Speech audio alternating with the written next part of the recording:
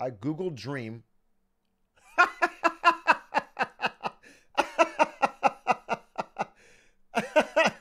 Wait, what?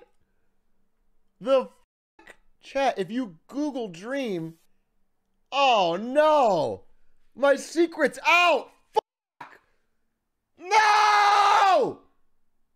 Oh, Google, you spying Uh, yeah, all right. That's it. I'm the man behind the mask.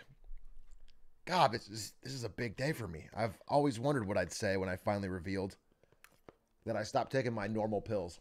That was the point of the mask, so you guys wouldn't figure out it's me. Why do you think he's all green?